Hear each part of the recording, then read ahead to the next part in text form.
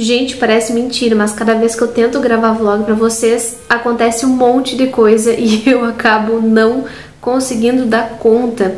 Eu comecei a gravar uma ideia de vlog na segunda-feira, dia 26 de outubro. Vocês viram aí alguns trechos da viagem, né? Eu tava em trânsito voltando para minha cidade aqui. E aconteceu que eu esqueci o meu carregador lá na outra cidade. Então, eu não tinha como carregar o celular, pedi que me enviasse o carregador e levou dois dias para chegar. E aí, nesse meio tempo, eu fui tentando fazer uma maratona, mas sem gravar nada praticamente, porque não tinha como, né? Com o meu celular sem bateria, não tinha gravação.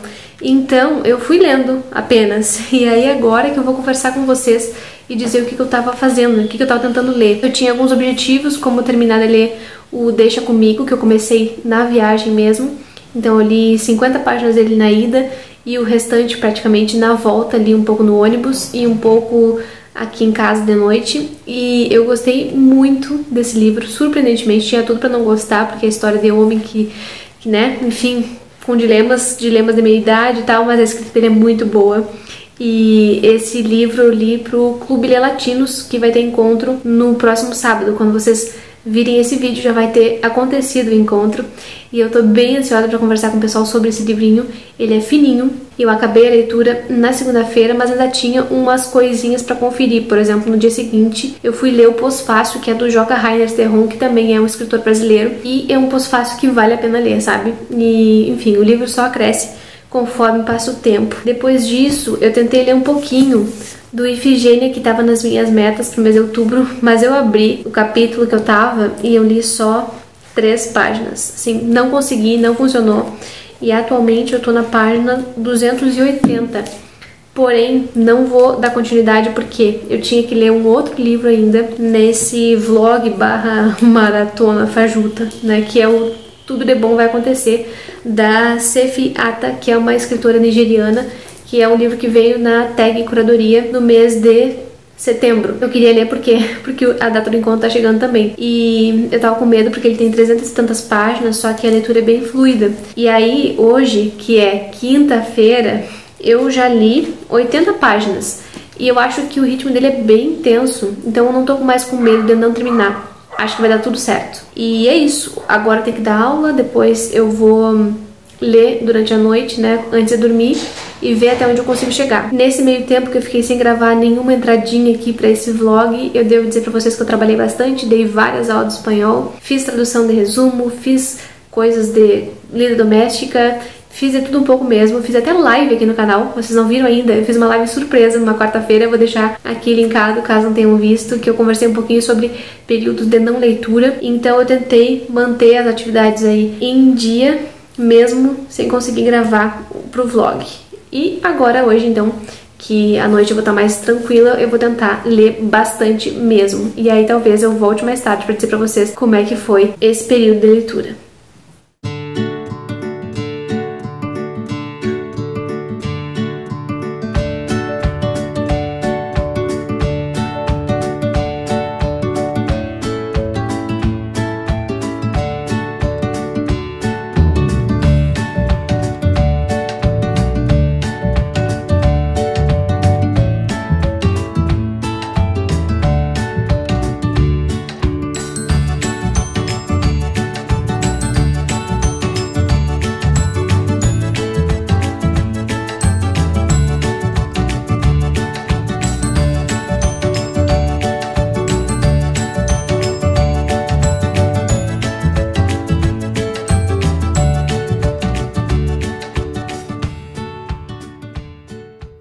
Gente, já é meia-noite, madrugada de sexta para sábado e eu mal consigo chegar aqui para fazer essas atualizações. Mas o mais importante é conseguir ler, né? E isso eu até tô conseguindo. Então vim atualizar aqui que hoje, nessa sexta-feira, eu fiz muita coisa. Eu dei duas aulas durante a manhã, depois eu fiz almoço, depois eu arrumei algumas coisas, gravei um vídeo que eu precisava para um trabalho que eu ainda não posso divulgar e dei mais duas aulas na sequência. Depois participei de um curso da Ferrante que está tendo tipo um clube de leitura, né? Uma leitura de Ferrante por mês, está sendo promovido por uma universidade que agora não me lembro qual é.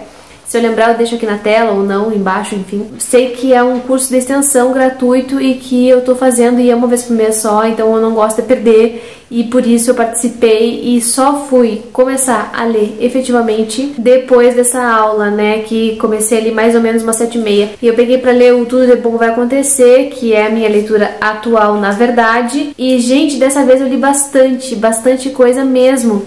Ontem eu fui lendo até mais ou menos meia-noite e meia e eu tinha chegado na página 132. E hoje eu retomei, ali pelas sete e meia da noite, e li até agora, perto da meia-noite, é, e cheguei até a página 248. Eu li mais de 100 páginas, isso pra mim é um recorde, mas a leitura é muito boa mesmo, assim, flui bastante bem, e eu tô meio que devorando. Eu fiz uma pausa aqui para arrumar algumas coisas, e na sequência eu vou fazer um chá e vou pro quarto ler, que aí já é meu último minuto de leitura, sabe? Os últimos instantes. E aí eu já gosto dele na cama e quando dá o sono mesmo eu só viro pro lado e durmo. Então vou ler mais um pouquinho ainda. Espero avançar ainda um, um bocado porque amanhã tem encontros. Eu quero encerrar esse vlog de manhã. Então deixar o mínimo possível de páginas pro dia desse amanhã no caso, e ver no que que vai dar, né? Mas eu acho que eu vou conseguir terminar assim, não falta muita coisa, falta um pouco mais de 100 páginas agora e isso é tranquilo de acontecer. A única coisa que eu não gosto é terminar assim, tão em cima do encontro, né? Porque não dá nem tempo de processar direito, não dá tempo de ler a revista. Mas, fazer o quê? Quem não tem cão, caça com gato, etc. Eu tô fazendo o que eu posso, já é um grande, um grande feito terminar essa leitura que é mais ou menos quase um calhamacito, né? Então é isso. Espero terminar, não agora à noite, provavelmente amanhã pela manhã. Apoiem o trabalho, tá? Se não deram like ainda nesse vídeo, deem agora, porque assim, tá puxado. Essa semana tá puxado. Tô parando aqui pra fazer um vlogzinho de leitura, vida real, daquele jeito que vocês já sabem, mas que eu não canso de mostrar aqui porque eu gosto que essa vida real seja bem explícita. Chega de papo, vou lá continuar lendo. Até daqui a pouco.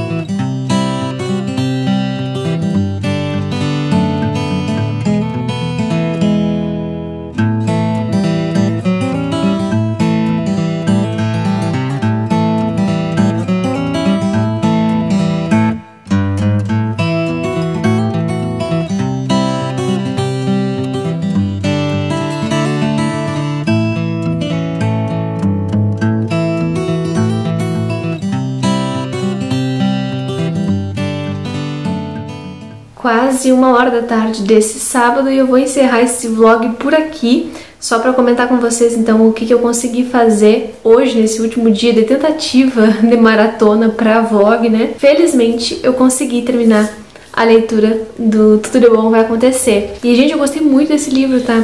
Eu acho que ele não é uma coisa tão refinada, digamos, em termos de escrita e de contextualização como o da Chimamanda, por exemplo, Menção Amarelo, que me impactou muito, mas ainda assim eu acho que ele pesa mais a mão na parte política real, assim, das personagens serem quase panfletárias, as personagens é, irem pra luta e apresentar muito do contexto social, assim, ela é muito didática nessa parte. Só que eu acho que isso é bom de vez em quando, sabe? Explicar bem o contexto social, econômico do país, as transformações pelas quais a sociedade está passando naquele período, e ela faz muitas análises sobre influência externa na Nigéria. Então, o saldo foi bem positivo, gostei muito mesmo, acho que ele tem uma escrita bem fluida e espero conversar melhor sobre ele com vocês.